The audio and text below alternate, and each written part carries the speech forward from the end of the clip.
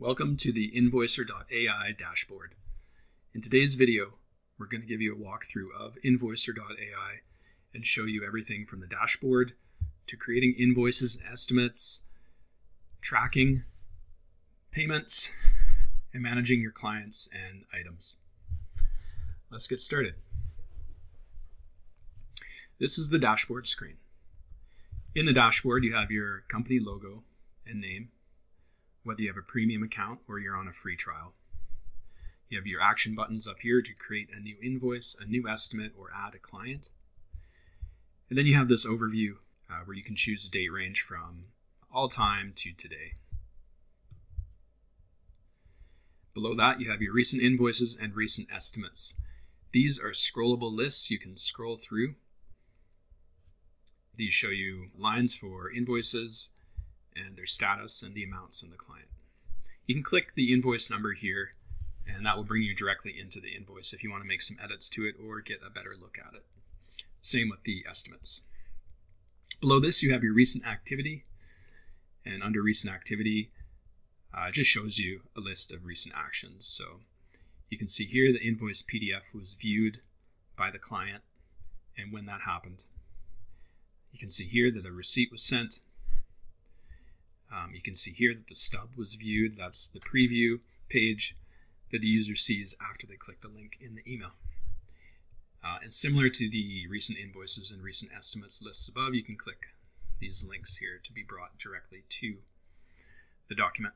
On the left, we have your menu. You've got invoices. You can expand these, estimates, clients, and items. Below that, you have accept payments. Uh, if you go through the accept payments process, you'll be able to accept credit card, debit card, mobile wallet, as well as bank transfers and different payment methods depending on your country. Below this, you have logout if you need to log out, and then settings, support, which takes you into our help page, privacy, and terms. So let's jump into invoices. I'll start with the invoice list and then we'll move into actually creating an invoice. So let's go ahead. You can click List Invoices. Here, you can actually click right here. This title will bring you to the same location. So here we go. Here's our list of invoices. Up at the top, you have your uh, button to create a new invoice. We have our notifications uh, icon as well. You can click this if you want to see a list of notifications. This is the same information you'll see in your recent activity list on the dashboard. With these, you, you can click the link to be brought to the document, and you can also click client info, which will bring you into the, the client's info. Uh, you can hover over the dates here. If you want to see exact date and time, you hover over it. Uh, and if you want to get rid of a notification, you just click the X. You can click out of this, or here, you can also click this to be brought into the notifications setting. Uh, we're not going to do that just yet. Okay, back to the invoices list. So for the invoices list, you have filters up top. You can filter by all, unsent, sent, partially paid. So this is when you haven't paid the full invoice. This one, for example, you can see it was paid 25,000 out of 60. Paid, so all your paid invoices. Owing, anything that's owing overdue, refunded, and archived. Go back to all. You can also search. So just start typing, it'll automatically filter. You can search by uh, invoice number, you can search by um, client.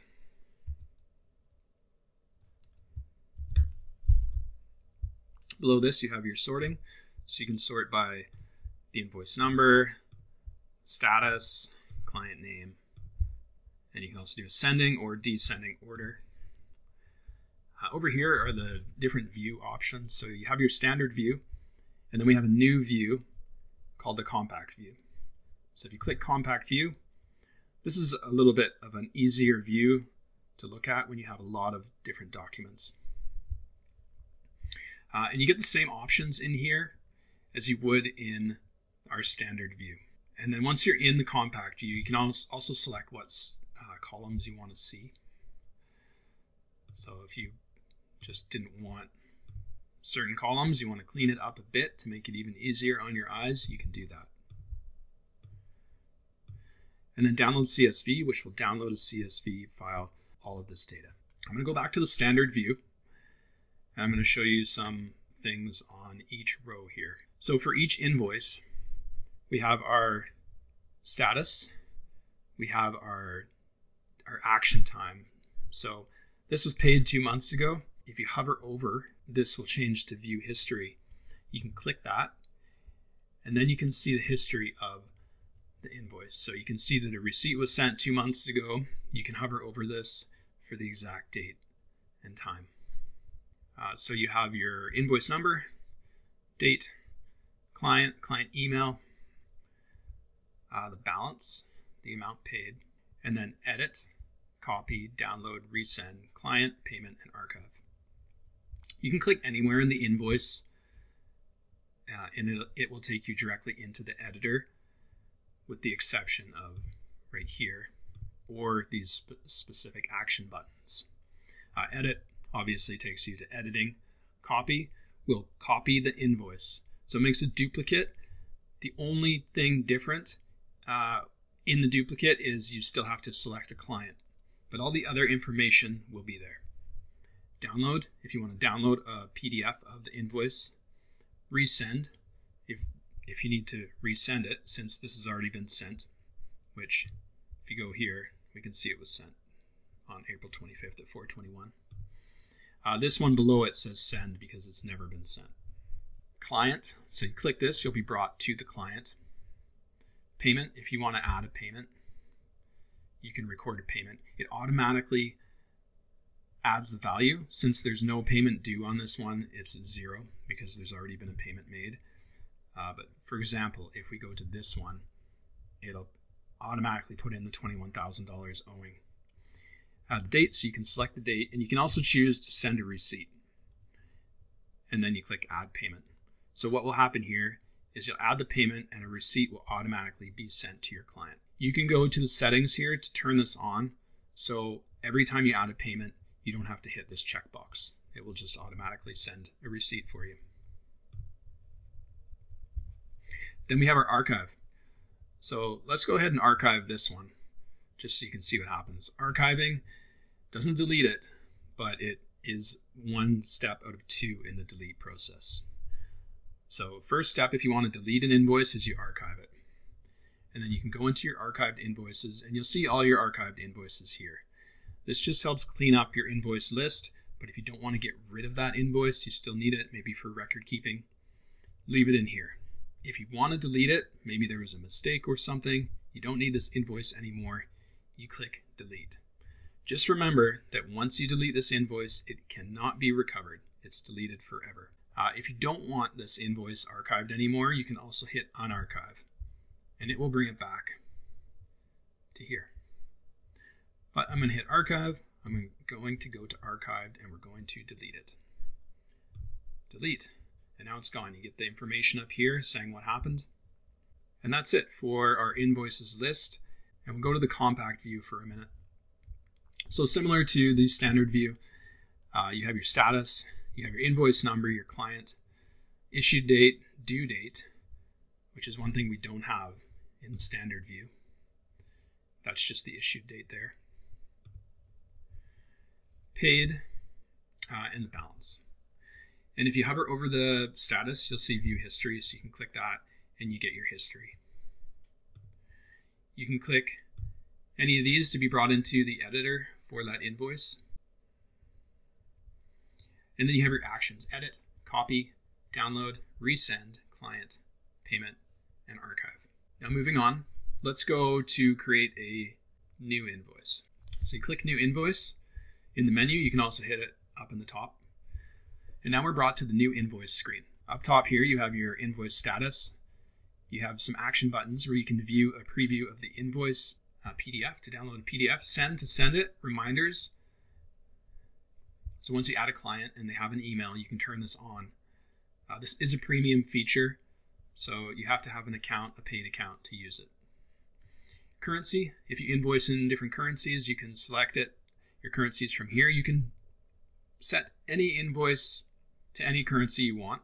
You're not locked in. You can have a main currency for your account, uh, which means that every invoice, when you create it, will be in that currency. But let's say you need to send, sometimes you need to send invoices in Canadian dollars or in euros. You can do that per invoice. Uh, and we support up to 135 different currencies. Uh, you can just start typing in the country name or the currency and it will show up here. A logo, you can drag and drop a logo onto here or just click and select one from your computer or your device. Uh, your from information, so you add in your name. Uh, you can, we use Google Address Autocomplete. So once you start typing in the address, you can just select one from here. It will fill in the rest of the information. You can add your phone number. Uh, there's a little saved uh, thing right here, and if you start making changes, you'll see it will change to saving.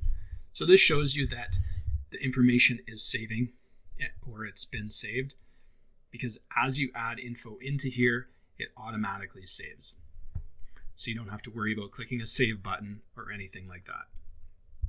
Uh, your client, so you can either add a client, you could say my new client, and you can create a new client if you want.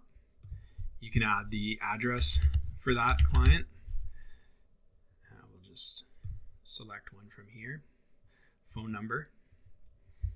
And if you're done editing the client, you can click lock client you don't have to. You can still create the invoice. It's all good. It just means that you won't be able to edit it once it's locked. Let's say you don't want that client anymore. Let's let's choose a different one. Let's go to client 2. So you can select another client if you want. Over here you have your date issued. You can select your dates here, date due, when you want to set that invoice to be due. Invoice number. You can choose the format that you want this to be and the system will automatically increment for you. Um, just make sure that it ends in a number. Let's say you just want it to be like this. And when you go to create another invoice, it'll go to 10,049. You can add uh, a value here. This is just a field, an extra field. If you need to add a PO number or a reference number or a, a tracking number, something like that, you can add it here. Over here, uh, you can change the color. So we can change our color, anything we want. And this will adjust the color on the headings and the, the line here. If you're happy with your color, you can click check this to save it as the default. Below we have our line items. So right here we can select a line item. We can add our rate. This one I just pre-selected because it was already available. You can change your quantity and then you have a description field. This description field uh, can expand uh, as you type. It does expand as you type. Uh, if you want more room, you can also just select it down. We can add a tax if we want to an item. You just click add tax and then the default tax value of 5% will show up and then you have to give your tax a name. So if you've never used Invoicer before and you've never added a tax, you won't have any tax names in here. So we'll just, the default is to call it tax. But you can add other ones as well. If, if you don't want tax on an, an item, you just click the delete. If you want to add a new item that you haven't saved before, you can type it in right here. So you type in the item name and you select create new item. This will create the item. You can give it a rate, quantity if needed. The default is 1. And your item description. Once you've created that item, it automatically saves. So you'll be able to see it over here in your items list, and you'll be able to use it on uh, new invoices and estimates. Let's add another line item. All right, so now we have two. They're both getting taxed at 5%. Let's add another tax here. Let's go HST. But let's say our commission line item, we only want to tax it with HST. So we're going to remove the other tax. This one's taxed with tax and HST, and this one just has HST. We could remove that as well if we want, or you can just have no tax on an item. So that's handy if you have taxable and non-taxable items, or you have to apply different taxes per item on an invoice. Right here, you can drag your line items around if you need to edit the order of them. You just select this and drag it. If you need to add more line items, you can just add them here. You can add as many as you need. Uh, discounts, so if you need to add a discount, you can add it here. You can call it whatever you want, new customer discount. And you can choose discounts in percent based or dollar based. So 25% or, you know, $1,000. And the calculations will happen automatically for you. You can add as many discounts as you need. Uh, we went over taxes already, uh, but if you want to, you can just click add tax here and add a tax if you need to add another one. We'll get rid of that. Get rid of that. Uh, deposits. So if you need to request a deposit for the invoice, could be handy if you are uh, a contractor and you need to receive funds before you start a project. You can add it here. So, you know, an example would be uh, first deposit. Say you need 25% to start the project. And then you could be second deposit and you need another 25% as the project commences. You can add as many of these as you need. Uh, and again, it's percent based or dollar based. Below that, you'll have total deposits requested. And if you click add payment here, it's going to automatically assume that the payment is for this deposit amount. But you can adjust this. You can change the date and the value here. Uh, I'm going to get rid of that for a second and I'm going to remove these deposits. Um, now, what will happen if I click add payment? It's going to assume that the payment is for this value. So this just saves you from entering in that value. Uh, the system is assuming that's what the payment will be for. Obviously, you can adjust that as needed. Uh, and once you do that, you'll see your status changes up here. It says partial, which means there was a partial payment. And the amount due now is $15,828.13. Down below, you have your notes. So you can say, thanks for your business. business. We appreciate your support. And you can save that as default if you want. Um, your terms, you can also set those, whatever they are, and save those as default. Down below, you have the attachment section where you can add a attachment. So what we'll do is we'll just drag an invoice onto here as an example. The attachment's been added to the invoice. The client will see this from the, the stub screen. And this is handy if you have a receipt or you know another invoice or perhaps some contract terms you want to upload. Uh, you can do that and include it in the invoice. And if you don't want that, you just click delete. So I'm going to put them back because we're going to move on to the stub screen. So reminders, you click that to toggle them on. You can set them, you can send up to three reminders. The first one, you choose the day. So zero days after, after the due date. That means if there's no payment been received on the due date, a reminder goes out.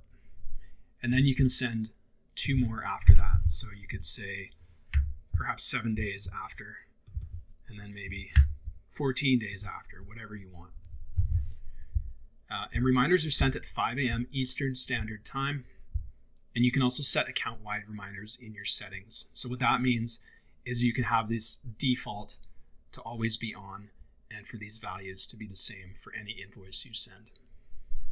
Click the view button, stub screen. So this is the invoice stub. So this is the same screen your clients will see with the exception of these buttons up here, but they'll see essentially this where you have the title of the document, your logo, your company name, the balance due, view the invoice or download, uh, the invoice number here, due date, total balance, status, and then below this we have a list of payments.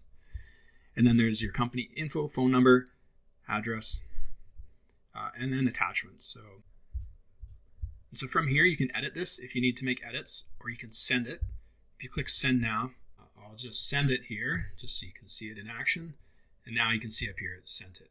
Here, if you have payments, uh, online payments enabled, if you turn this on, you'll see a Pay Now button here uh, where the user can click that and they'll be brought into a screen, into the checkout screen where they can pay with whatever payment method you have set up. So that could be uh, a credit card, debit card, mobile wallets like Apple Pay and Google Pay, as well as bank transfers uh, or other different payment methods depending on your country. We're going to go back into the app screen here. I'm going to turn off reminders. Up here, you notice this, this was a 1 before, but now it's a 2. So if we click this, we'll see that the invoice was delivered. So, and I'm going to view the invoice. And now we can see that our status has changed. Let's take a look. So you can see that the email was viewed. So I viewed the email and the stub was viewed. So the client has viewed the stub. Me being the client just for this demonstration. Uh, if I click the view invoice in the stub, you're going to get another notification showing that the PDF was viewed. Five different notifications. So you can see that the invoice was sent, uh, so it was delivered to your client. You can see that the invoice was viewed by your client, the email. You can see that the invoice stub was viewed, so that's them viewing that preview screen. And then if they actually click a link to look at the invoice, um, you'll see that the PDF was viewed as well. So estimates, we'll go to list estimates. We won't spend as much time on these as we did with invoices because a lot of the information is the same, although there are um, a few differences. So when you create an estimate, it'll show up in your estimates list. And similar to invoices, you have you know, history, all the info for the estimate. Action buttons are fairly similar. You have edit, copy, download, send, client, but you also have approve. And this is where you can approve the estimate. And then you have an archive as well. Uh, and same thing, you have your standard view and your compact view.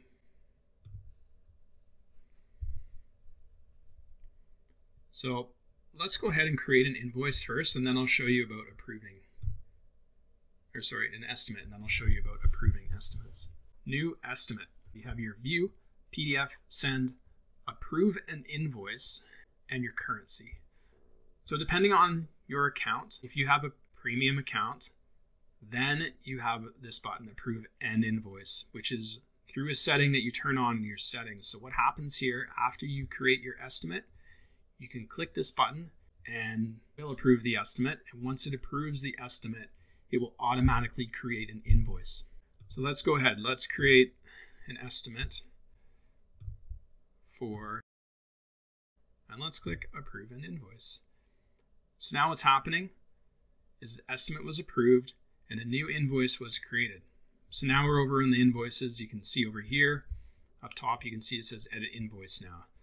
So this is now an invoice.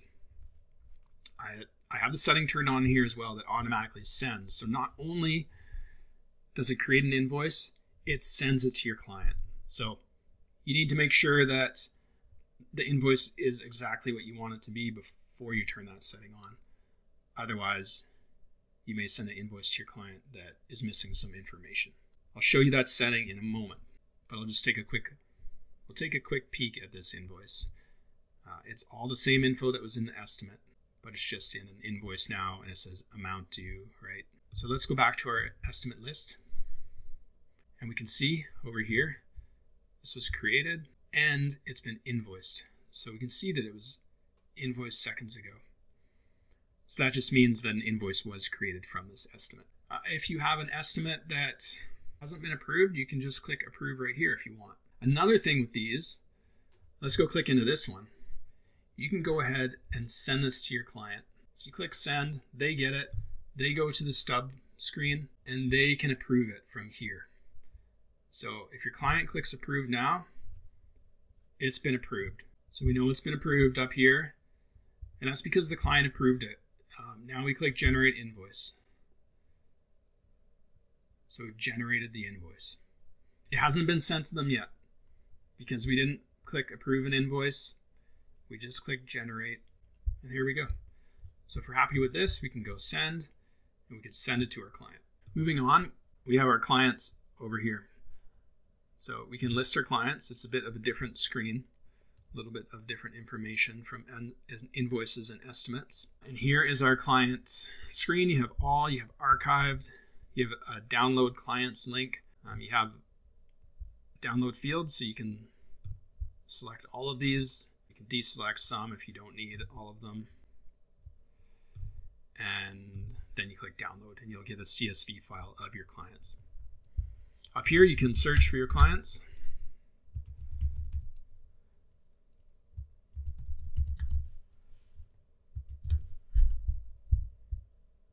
And then you have your client name, your column here for your clients.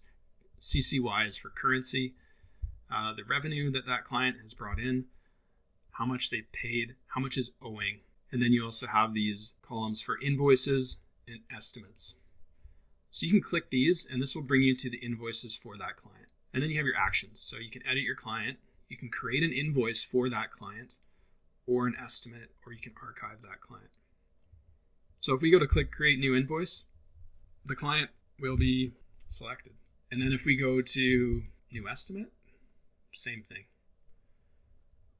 There we go. And if we want to view the invoices for that client, you can see up here. So it just makes it a little bit easier to navigate the app. If you're looking at clients, you want to see what their invoices or their estimates are, you can always click these buttons. Or if you need to create a new document for them, you can do that let's add a client. So you click add client and then we can add our client. Add their email, phone number. We will add their address. And down here, this client we just created, so they won't have any invoices. But if you were on a screen um, editing a client that existed and who had invoices, you can click this and be brought to their invoices. And that's it. So there's your clients. Let's move on to items. Every time you create an item, it gets automatically saved. Same thing with clients, they're automatically saved. Uh, so to view your items, you click into here and you click list items. So here's some existing items we have. You have the item name, uh, the category, category or subcategory, these are optional, the price, and then actions. So you can edit the item, you can copy it, archive, you can create an invoice, that has this already selected for example. So there we go, it's automatically selected. New estimate. And you can also list invoices that have this item. So there we go, invoices with commission. So if you have a particular product, you need to know what those invoices are, then you can do that. So let's go back to our items list. You can click into any of these to make edits to them. You have the item name, you have the description, you can add a SKU if you need it. This is for internal uh, stuff only. This is doesn't show up in the invoices. Uh, same with your categories and subcategories. You can also add a cost. So this is an internal cost. So let's say this is costs you $1,500. Um, you could put it here. And that's more for your own internal tracking. Taxable, whether this is a taxable or non-taxable item, and then you can add the taxes for it. You can also go click list taxes over here, and this is your list of taxes. So you can add more, you can edit them, and your category list. So if you have different categories, they'll be here. So and you can add your subcategories as well. This area we will expand and make it more useful. It's a bit of a newer area. All right, so that's your items. Uh, we've covered your clients, your estimates, and invoices. Uh, next up would be accepting payments. So if you want to accept payments on your invoices, you just click this accept payments in the menu and you go through the process. We use a payments platform called Stripe. Through Stripe, our Stripe integration, and we are a Stripe partner, you can accept credit card, debit card, mobile wallet, as well as bank payments like bank transfers, ACH payments, and different payment methods depending on your country. So there we go. We've gone through all of our items here. Uh, now we're going to jump into our settings. So in settings, uh, we have the tabs up top. You have your account settings, your application, invoice estimate, notifications, and billing. Under your account info, you have uh, your contact information. This is the information that shows up on the invoice, invoices and estimates up in the top right. This is just your company name or whatever name you want to be there, phone number, email. Um, if you do need to change the email, you have to email us and request it. We will be updating this so you can do it yourself. Your address, your country, and your currency. Again, the currency is the default currency, which just means anytime you create an invoice or an estimate, that currency will be selected. Uh, but you can always edit those per document. Your application settings is really just your default logo and the results per page. Results per page means how many of these you want to see per page. So if you don't really like seeing a whole bunch of information, you can just do that and then you'll get this to scroll through. And you can always change that here. Going back to settings, so we've gone over our account, our application, and now our invoice. So these are the invoice settings. So this is your default heading, notes, and terms for invoices. You can leave these blank if you do not want default text. So this is your heading. Uh, so if you have an invoice, it'll say invoice at the top, but maybe you prefer to call these a bill of sale or something different. You can edit these anytime you want, um, and these are just your defaults.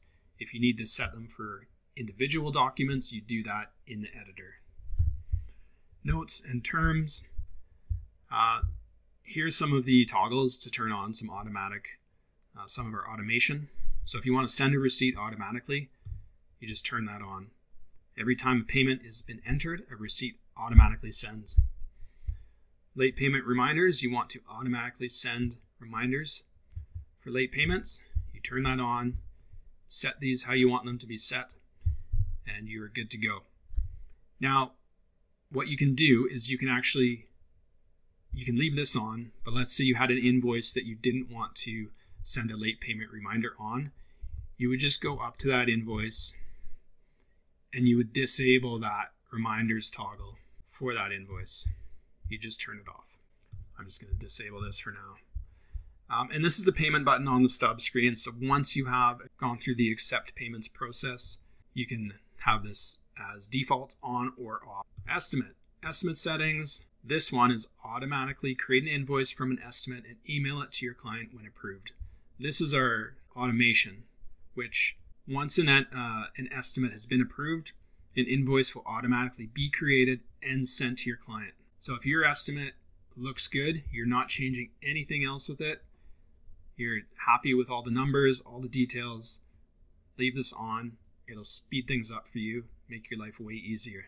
Um, but if you find that there's a lot of back and forth, even after you've approved an estimate and you have to do some more work in the invoice, leave this off. Uh, again, this is a premium feature, so you need to have a paid account to use this. Below we have our default heading notes and terms for estimates, same as the, the invoices. Over here is our notifications. So this is where you can select what things you're notified for. You can disable them all if you want, you can leave them on. And then you can choose what you want to be notified for. These notifications are only in the app, so what you see up here.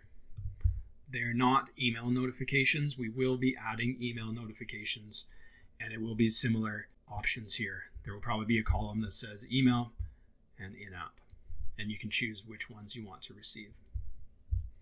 Over here is billing. So if you have an account, uh, a paid account, you'll be able to see that. This is just our test account, but if you did have an account, it would say view your billing profile. And that's it. That's everything that Invoicer does. I hope this helps. Uh, we're always adding new stuff and it was time to create a new one of these because the old one is a bit outdated and was missing quite a few things. Uh, if you have any questions or comments, you can always click the chat box down in the bottom right and send us a message, and we'll get back to you as soon as we can. You can also send us an email at support at invoicer.ai. Thanks for watching and happy invoicing.